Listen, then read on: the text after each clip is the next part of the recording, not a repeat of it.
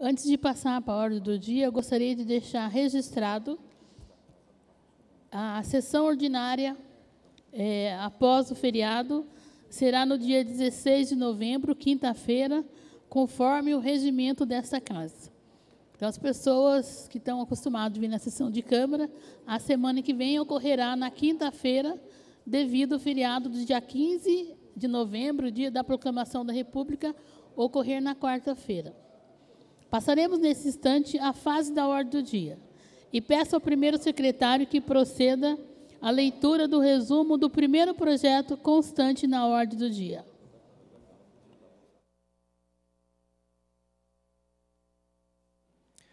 Primeira discussão do projeto de emenda à Lei Orgânica do Município, Executivo número 1 de 2017. Altera a Lei número 2761, de 31 de março de 1990, que decreta e promulga a Lei Orgânica do Município de Jacareí, artigo 89, referente, referente ao percentual de cargos em comissão a serem preenchidos por servidores efetivos, autoria prefeito municipal Isaías José de Santana.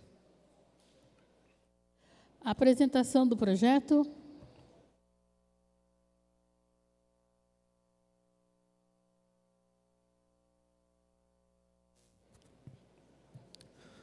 Bom dia, senhorita presidente. Bom dia, doutora Márcia, membros da mesa. Bom dia, nobres vereadores, público presente, telespectadores que nos assistem pela internet ou pela TV Câmara. Projeto de lei número 38, de 28 de setembro de 2017, altera a Lei número 2761, de 31 de março de 1990, que decreta e promulga a Lei Orgânica do município de Jacareí. O artigo 1 a Lei número 2761, de 31 de março de 1990, passa a vigorar com a seguinte alteração. Artigo 89. Os cargos de provimento em comissão da administração direta, autárquica e fundacional municipal, em sua globalidade, deverão ser preenchidos em, no mínimo, 25% por servidores efetivos. Artigo 2 esta lei entra em vigor na data de sua publicação, revogadas as disposições em contrário. Gabinete do Prefeito, 28 de setembro de 2017. Isaías José de Santana, prefeito do município de Jacareí. Tenho a honra de submeter a análise dessa Igreja Casa Legislativa o incluso projeto de lei que altera a lei orgânica do município de Jacareí, lei número 2761, de 31 de março de 1990. Inicialmente, cumpre informar que o projeto de lei objetiva atender o disposto na ação direta de inconstitucionalidade apresentada no Tribunal de Justiça do Estado de São Paulo. Tal projeto tem por finalidade alterar a lei orgânica do município de Jacareí para atualizar o artigo 89, determinando que os cargos de provimento em comissão da administração direta, autárquica e fundacional municipal em sua globalidade deverão ser preenchidos em no mínimo 25% por servidores efetivos. Além do respeito e observância ao princípio da simetria, o projeto de lei atende o princípio da proporcionalidade e razoabilidade, assegurando a qualidade, eficiência, profissionalização e a continuidade do serviço público. Ressalta-se que a alteração legislativa visa não só a observância dos princípios constitucionais e proporcionar maior eficiência à administração pública, mas também visa valorizar o trabalho e dedicação do servidor efetivo. Por fim, ressalta-se ressalta que esse projeto de lei possui sólido escopo constitucional e legal. Nesse sentido, o artigo 144 da Constituição Estadual limita e condiciona a autonomia municipal, determinando a observância dos princípios estabelecidos na Constituição Federal e na Constituição Estadual. O inciso 5 do artigo 115 da Constituição Estadual, consoante com o inciso 5 do artigo 37 da Constituição Federal, determina a reserva de percentual mínimo adotado em ato normativo de cargos de provimento em comissão a servidores de carreira, Justificado nesses termos, a fim de que a proposta possa alcançar plenamente seus objetivos, encaminhamos o projeto de emenda à lei orgânica do município para apreciação e aprovação dessa Casa Legislativa. Gabinete do Prefeito, 28 de setembro de 2017, Isaías José de Santana, Prefeito Municipal de Jacareí.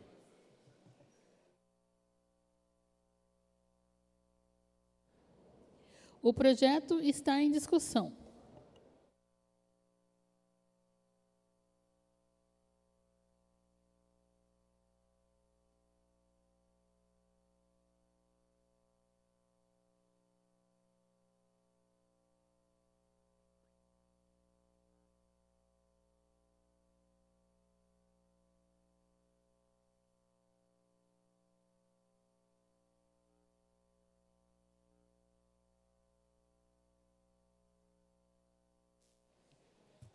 Senhoras e senhores, bom dia a todos, nobres pares, amigos que nos acompanham pela TV, pela internet, amigos aqui presentes. Quero mandar um abraço para a minha amiga Cris, Cris que está ali acompanhando os nossos trabalhos, né, Cris? A Cris que tem um pezinho no Parque Santo Antônio e um pezinho lá no 1 de maio, né? Olha, nós temos que ter uma posição muito bem clara do que é fazer oposição. E fazer oposição não é ser contra o prefeito, não é ser contra o governo, não é ser contra ninguém. É apenas externar um pensamento diferente de quem é governo.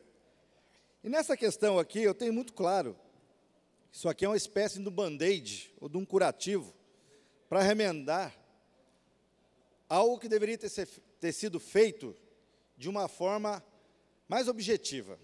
E eu cobrei isso aqui todas as vezes que chegavam os projetos das reformas administrativas enviadas pelo Executivo, ou seja, pela Prefeitura, que talvez fosse o momento da gente dar um grande exemplo para a cidade de austeridade com o dinheiro público. Sempre se ouviu nessa casa aqui, quando eu era governo, a oposição dizia o seguinte, que existiam muitos cargos em comissão e que esses cargos eram simplesmente para apadrinhar né, pessoas que ficavam nas esquinas balançando bandeiras em épocas de eleição. Cansei de ouvir isso aqui. Bom, chegou o momento propício, aonde, através de uma recomendação da Justiça, que fossem feitos, então, os ajustes. O que a gente percebeu é que não foi feito ajuste nenhum. Foi simplesmente repetido a mesma quantidade e, para não dizer pior, em alguns casos foram aumentados a quantidade de cargos em comissão. Ou seja, por que, que nós já não fizemos um enxugamento, já não fizemos um trabalho mais preciso? Porque não, e nós reclamamos muito aqui, inclusive falava com o vereador Luiz Flávio, a Secretaria de Mobilidade Urbana, criada no momento, na minha opinião, inapropriado, que a gente está vendo aí só está fazendo besteira, né? sem desrespeitar aí o pessoal que trabalha lá, mas até agora não produziu nada, que a gente dizia, não é o momento, nós estamos passando por um momento de crise. Nós estamos passando por um momento onde a cidade tem que dar demonstração de utilizar da melhor forma os recursos públicos. E folha de pagamento é tem uma incidência altíssima naquilo que se arrecada na cidade. Então vem agora aqui, usando alguns argumentos que eu até conheço e reconheço, há uma determinação sim do Tribunal de Contas para que se faça uma proporcionalidade na nomeação ou nas nomeações para os cargos em comissão. Agora, o que é cargo em comissão? Isso, gente, é uma prerrogativa de todo gestor. Quando ele ganha, quando ele coloca a prova um projeto para a sociedade, a sociedade aprova esse projeto, ela, ela elege aquele representante, esse representante, obviamente, ele tem que trazer pessoas para ajudá-lo na condução, na execução desse projeto. E tem que ser pessoas de confiança. Infelizmente, eu preciso ter ao meu lado, assim como no meu gabinete ou no gabinete de qualquer vereador, eu tenho que trazer as pessoas da minha confiança, pessoas que conhecem o projeto e que vão ajudar a executá-lo. Quando eu crio essa regra de 25%, que na prática, vejam bem, e muitos servidores que podem estar acompanhando agora sabem muito bem que já é feito isso. É muito comum o, o, o prefeito é, nomear pessoas que já são de carreiras, que têm capacidade para poder ocupar esses cargos. Porque sabe que essas pessoas vão contribuir de uma forma neutra, ou seja, vão contribuir na sua capacidade técnica e não política. Quando eu amarro isso, eu vejo de duas formas. Primeiro, uma demagogia, né, para querer fazer média depois de ter aumentado aí. Veja o caso da saúde. No caso da saúde foram extintos os cargos de função gratificada, que são cargos reservados exclusivamente para funcionários de carreira, transformados em cargos de comissão. Só que agora, obviamente, passam a ganhar mais. Está valorizando o funcionário? Ótimo. Pergunta que eu faço: é o momento? Está sobrando dinheiro? Até esses dias estavam reclamando aí que não conseguiam fazer nada porque não tem dinheiro, porque ficou com dívida. Então, gente, é uma contradição muito grande nessa, nessa, nessa história. Arildo, eu confesso para vocês. Permite só uma partida. Lógico que a gente aprovou na confiança que esses funcionários trabalhem e cumpram o horário pré-estabelecido, né? Exatamente. E que apareçam é uma... na secretaria para estar trabalhando. Que cumpram no mínimo as suas oito horas, né, Rodrigo? Então, são questões que a gente precisa tomar cuidado, porque senão a gente está criando Vereador. um cabidão. Ah. Essa é a verdade.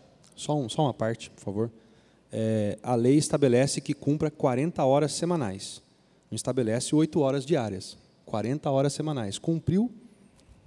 É, esse é um assunto que a gente vai discutir, eu particularmente vou discutir no tema livre, né? É, tenho minhas, é, o meu contraditório, mas no, no tempo certo a gente vai discutir essa questão, que é matéria de jornal hoje, inclusive no, vale, no, no jornal Vale, quem puder ter acesso vai saber do que a gente está falando. Mas, enfim, é, para mim, passa a ser uma forma né, escondida de você agraciar um grupo de pessoas que, no final das contas, né, vai ficar muito grato ao prefeito e, logicamente, vai defender essa nova bandeira. Eu já disse que respeito em muito alguns funcionários, e muitos funcionários de carreira, porque sei da competência, sei da, da, do esforço que eles têm se preparando, estudando para que possam ocupar cargos. E eu acho que é legítimo isso.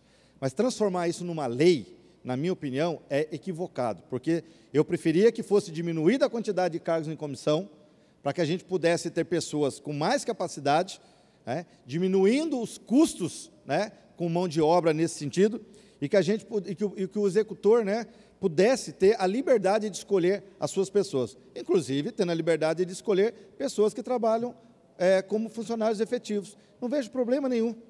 Então, para mim, eu até fiz um apontamento no jornal que é uma demagogia. Porque a gente pega, por exemplo, o cargo da, da, lá na Fundação Cultural, lá foram criados mais cargos, na Fundação Prolar foram criados mais cargos, na saúde foram criados mais cargos, em outras secretarias foram criados mais cargos. Por que, que não enxugou no momento que podia ter enxugado? É, essa era a minha contestação quando eu dizia que tá, estávamos perdendo a oportunidade de fazer realmente um enxugamento e uma reforma que pudesse realmente atender os anseios e executar aquilo que foi discurso durante a campanha. Porque fala-se uma coisa, mas na prática faz outra. E eu estou dizendo, aqui não é direcionado à pessoa, mas é direcionado àquelas pessoas que escolheram um governo achando que iam fazer tudo aquilo que prometeram e no final das contas acabam fazendo é, exatamente igual ou às vezes até pior. Projeto continua em discussão.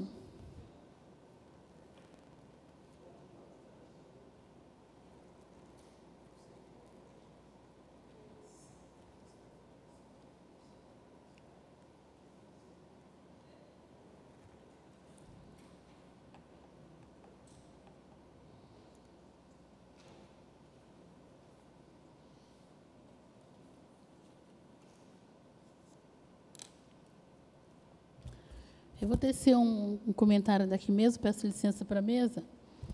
É, eu acho muito importante valorizar os, os funcionários efetivos, porque muitas vezes o comissionado que ele é nomeado para chefiar, para organizar a diretoria, muitas vezes por, pela falta de experiência na rede pública, é, ele precisa muito do apoio e do, do funcionário que está ali há muito tempo na experiência da execução do trabalho no seu dia a dia.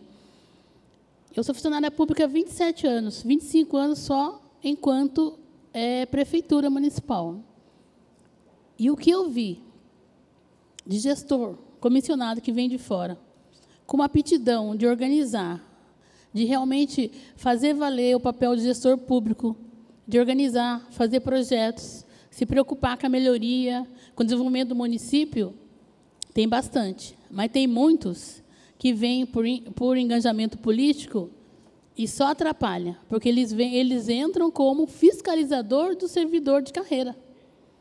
Eu acho que tem que trabalhar muito, e eu vejo que nesse governo está mudando um pouco essa mentalidade. Mas ainda precisa trabalhar a questão de ações de alguns gestores que ainda não entenderam que o poder público ele tem umas limitações diferenciadas da empresa privada, infelizmente. Mas eu acho que a melhor maneira de se valorizar é trabalhar em equipe, é cooperados. Então, eu acho muito justo ter, sim, no mínimo 25% de funcionário efetivo como gestor, porque ele também ele tem que ter. É, todos, todos nós, nós somos servidores do povo. Então, a gente não pode ficar assim, ah, mas é um cargo político, então eu não posso pegar um funcionário, mas é ele que vai executar. Muitas das, muitas das tarefas que, que é feita tem que ter experiência. Tem que ter um entendimento de como, da logística de como funcionam as coisas, né? Então, a gente vê também hoje, é, é, eu passei aqui 16 anos sendo, a gente, assim, eu costumo dizer, e quem trabalha com, com doação, se doa como funcionária pública de verdade, que fez o concurso e honra o seu salário, vai entender o que eu estou falando. Se eu quisesse ficar dois anos e meio encostada atrás de uma mesa, na internet o dia inteiro, por conta da perseguição, eu tinha ficado nesses últimos anos de governo. Só que assim, eu honro o trabalho, porque é isso que eu aprendi dos meus pais. O trabalho com dignidade, ver o suor do seu trabalho. Então, eu coloquei esses assédios do lado e sempre trabalhei honrando cada centavo do meu salário. Na prefeitura, o meu cargo era escriturária, ou seja, auxiliar hoje, auxiliar administrativo, salário R$ 1.288. Muitas das vezes, eu fiz projetos do setor que eu trabalho, organizei as coisas como se fosse diretor. Então, eu acho que. E, e, e como que esses funcionários não merecem esse cargo de confiança? Estão lá trabalhando. E tem muitos assim na prefeitura. Tem muitos funcionários, eu falo para os atuais secretários, já falei para quase todos eles. Tem muitos servidores que hoje estão machucados, feridos da forma que foram tratados como servidores públicos por conta da, da direção que vinha. Então, eu acho super justo que tenha, no mínimo, 25 dos cargos efetivos. Agora, é, é, e a gente tem que aprender a denunciar, tanto comissionado, é, cargo político ou não, como comissionado efetivo, o povo tem direito de denunciar se está cumprindo ou não o horário, porque é o povo que está pagando. Então, é direito de você, cidadão, reclamar na prefeitura caso você não seja bem atendido, até por nós, vereadores. Nós também temos comissão de ética aqui dentro da casa. Os secretários também têm, os diretores também têm, aquele atendente, aquele servidor que cuida da limpeza, da higiene dos setores. Todos nós somos fiscalizados pelo povo e você tem o direito de denunciar. Então, eu acho super justo e reconhecer que deve ser valorizado, sim, o servidor público. Porque muitas vezes, quantas vezes já não vi nessa prefeitura é, você nomear o, o diretor, direção, gerentes, fazem curso em nome da prefeitura, formou um belo currículo, opa, o salário da prefeitura está baixo, então eu vou procurar outras coisas. Quantos que não fizeram carreira em cima da prefeitura e o funcionário ali ficou esquecido? O funcionário sequer tem uma cadeira decente para sentar, sequer tem um equipamento de trabalho decente para executar a sua atividade de melhoria da, da comunidade. Então tem que acabar com isso. E quem é o fiscalizador? Nós, vereadores, e a população. Então, a, gente vê esse cenário. Eu não estou inventando, porque eu estava ali vivendo e vendo tudo isso. E tem comprovação, porque tudo é, é, é feito um processo dentro da prefeitura.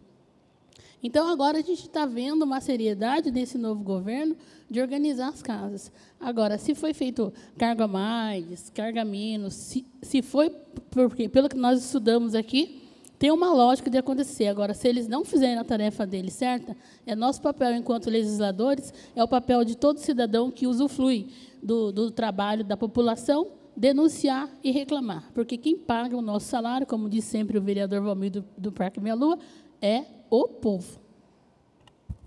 Senhor presidente, também vou contribuir daqui. É, concordo com, com a fala de Vossa Excelência. Mas eu penso que para a gente melhorar o desempenho no serviço público é a reforma do estatuto. Nosso estatuto ele privilegia somente as pessoas pela antiguidade, sexta parte, anuênio, independente do que aquela pessoa produzir, ela vai ter esses direitos. Então, um bom servidor vai ter os mesmos direitos que um mau servidor. Só discordo quando Vossa Excelência comenta que no governo passado não tinha servidor efetivo ocupando cargo em comissão. Haviam muitos, sim. E eu posso aqui citar para você exemplos de secretários, diretores, gerentes, que ocuparam muitos cargos no governo anterior. Quando Vossa Excelência fala que mudou, eu tenho aqui uma portaria do último boletim oficial, em que o prefeito nomeou um irmão de um vereador do PSDB de São José dos Campos. Qual é o critério dessa nomeação? Né? Não me consta aqui que ele seja um especialista, né? não me consta. Eu acho que em Jacareí tem muitos servidores efetivos que poderiam ocupar esse cargo. Poderia citar exemplos aqui de secretários que não são da cidade, que estão no governo. Então, eu não vejo que é por aí o debate. O que eu vejo é que se a gente quiser melhorar a condição do servidor público é fazer uma profunda reforma no estatuto. Essa questão política, dizer que foi ou não, eu acho que é importante comentar, mas está aqui, ó, essa portaria, né? Então, prefeito tem os critérios dele, assim como o anterior teve. Então, não, há que, não é que há uma mudança, que eu poderia citar outros exemplos de pessoas que não são daqui e estão nomeadas em cargos em comissão na nossa cidade, preterindo aí a oportunidade de outros servidores efetivos. Mas eu acho que não é esse o debate. O que eu acho que a gente precisa fazer é construir um estatuto que ele privilegie o servidor. Servidor que tem curso superior, servidor que faça uma pós-graduação, um mestrado, que ele alcance um adicional, que ele progrida na carreira, a exemplo de outros órgãos públicos. É só assim que nós, de fato, vamos estar valorizando é, com profundidade o mérito do servidor público. Porque, vejam aqui, são 25% de cargos em comissão. Quantos servidores efetivos dentro de um conjunto de mais de 4 mil que poderão ocupar esses cargos como uma forma de serem é, valorizados? Então, a valorização, ao meu ver, ela tem que ser para todos. Todos têm que a chance, ter a chance de ser valorizado dentro do serviço público. Agora, esse debate de alteração do estatuto, e aqui eu faço a minha culpa, é um bastante difícil, complexo a gente fazer essas alterações. Mas eu acho que a gente precisa caminhar para isso, porque não dá para a gente ter um estatuto que não motive o servidor público. O servidor público ele precisa ser motivado a estudar, motivado a fazer uma pós-graduação, motivado a fazer um mestrado, porque a gente sabe que melhorando a técnica do servidor público, ele vai poder prestar um serviço de maior qualidade. Imagine as professoras, os professores sendo é, concedido aí um reajuste caso ele faça uma pós-graduação, caso ele faça um mestrado, caso ele atinja um doutorado, um pós-doutorado, quem sabe. É isso para mim que motiva o servidor público. Agora, sinceramente, eu não penso que 25% dos cargos em comissão nós estaremos valorizando todos os servidores de igual forma, porque a gente sabe que para alcançar esses cargos não é só por critério técnico. Não adianta falar aqui, fazer discurso de que é, que não. Não.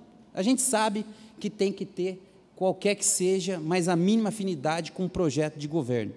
Então eu penso isso, vereadora, as suas palavras. Você me dá uma parte? Foram importantes. Vereador? Claro, claro.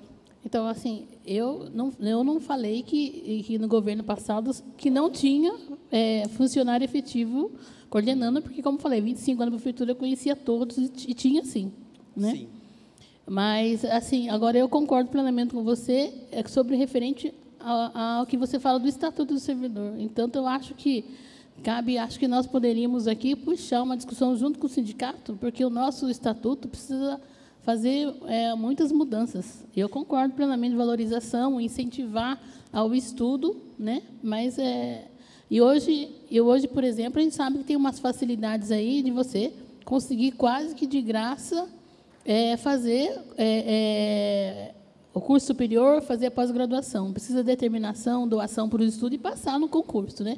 Perfeito. Então, eu concordo plenamente com você. Sobre o estatuto, eu acho que nós deveríamos puxar isso, convidar o sindicato para a gente começar a montar umas comissões. Esse dia estava conversando com a administradora dessa casa, com os servidores dessa casa, e a gente já estava levantando vários pontos do estatuto que merecem, que devem ser mexidos. Mas acho legal a gente pensar numa comissão só para discutir o estatuto do servidor, que é uma forma, sim, como está sendo do, dos guardas civil municipais, valorizar toda a classe do servidor público. Não, perfeito, vereadora. E, e, além disso, a gente cria um outro efeito, que é quando você abre o concurso e tem um município organizado em carreiras, que a pessoa pode ascender, na, subir na, na função, né, progredir na carreira, isso atrai também os melhores profissionais, porque são esses é, benefícios e essa forma de ver a carreira do servidor público é que vão atrair as pessoas que prestam concurso público e atrair os melhores para a nossa cidade. Vereador Arildo, quer uma parte? É, é, tá pegando uma carona aí nessa fala sua, de que às vezes a, o discurso é bem diferente da prática, e você deu um exemplo, e tem outros que a gente poderia dar aqui. Eu vou pegar um caso muito prático.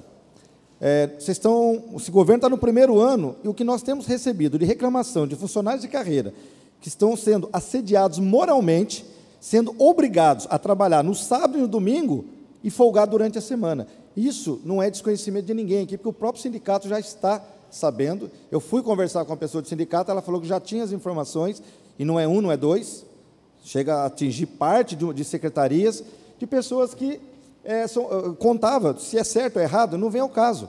Mas às vezes era um diferencial que ele tinha umas horinhas extras, hoje ele é obrigado, Derbal, a trabalhar sábado e domingo e folgar uma segunda ou uma terça. Isso é valorizar o funcionário? Então é o que eu estou dizendo. Discurso, uma coisa, prática é outra. Então, eu não vou votar contrário ao projeto, porque trata-se também de uma orientação dos tribunais de contas pelo país. Estava verificando aqui que, na União, por exemplo, os cargos de nível 1, 50% tem que ser preenchido por funcionários públicos efetivos. Né? Então, acho que caminha bem quando atende essa orientação e eu vou votar, já vou adiantar aqui, o meu voto será favorável, mas pontuando isso que não são 25% dos cargos que nós vamos conseguir dar igualdade no ambiente de servidores públicos. É preciso mudar o estatuto, é preciso mexer na carreira para que a gente construa uma política para o servidor público mais correta e adequada à nossa cidade. Muito obrigado. O projeto continua em discussão.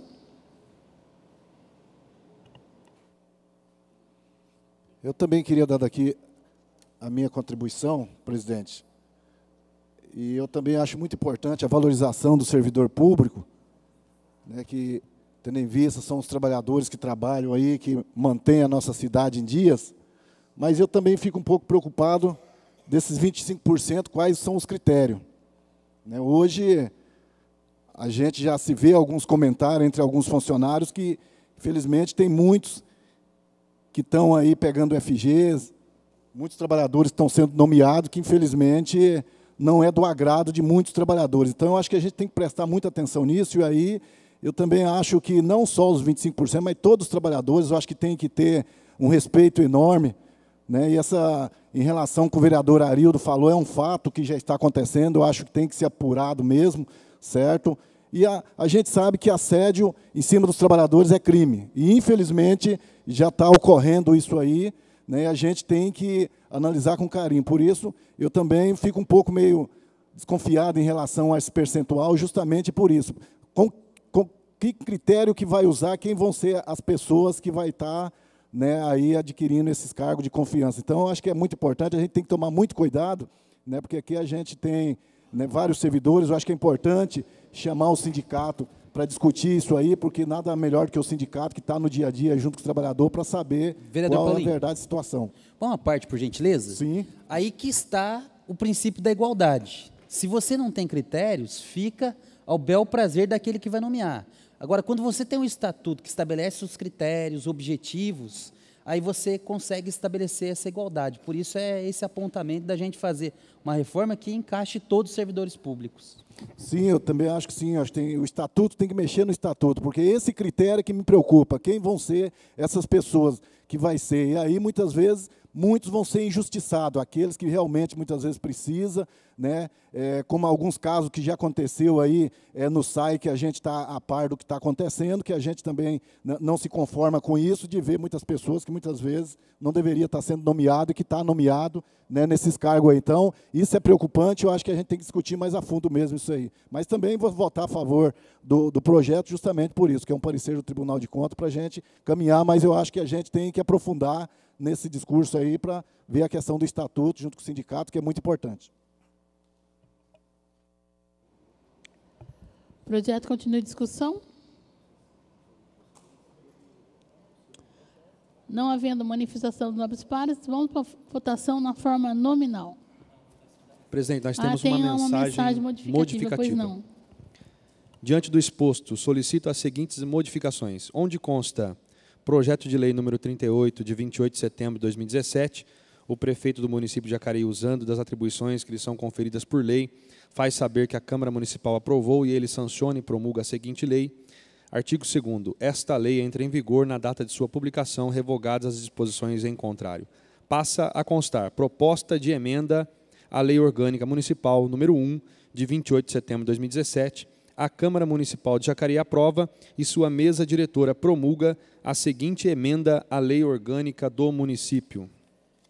Artigo 2 Esta emenda entra em vigor na data de sua publicação, revogadas as disposições em contrário. Reitero meu voto de estima e consideração por essa casa. Isaías José de Santana, prefeito do município de Jacareí.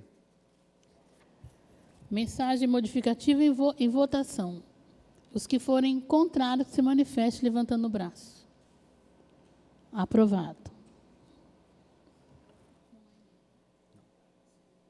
Então, vamos então agora à votação do projeto na forma nominal.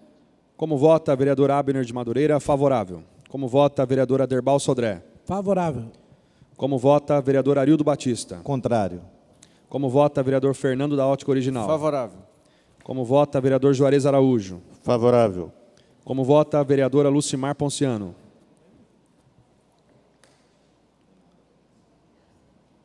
Favorável.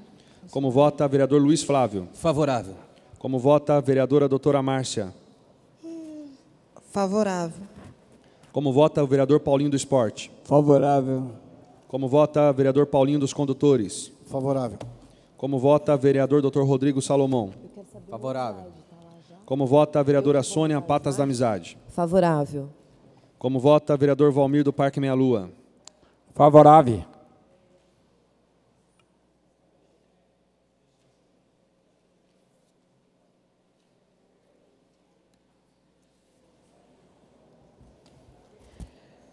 Primeira votação do projeto de emenda à Lei Orgânica do Município do Executivo, número 01, de 28 de 9 de 2017, que decre- decreta e promulga a Lei Orgânica do Município de Jacareí, artigo 89, referência percentual de cargos em comissão a serem preenchidos por servidores efetivos.